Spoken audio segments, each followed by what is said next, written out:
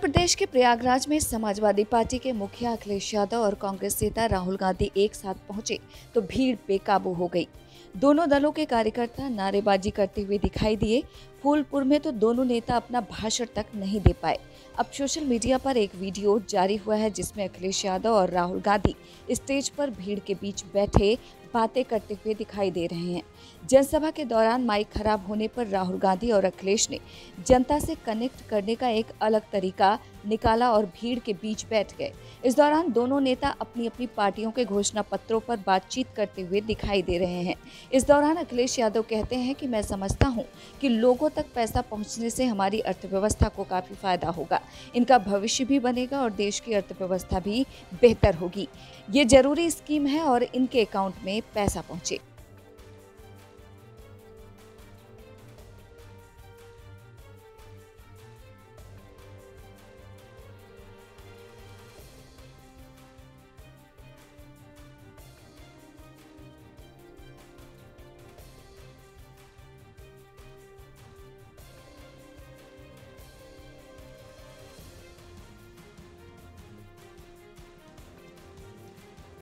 Bureau Report, India Post News.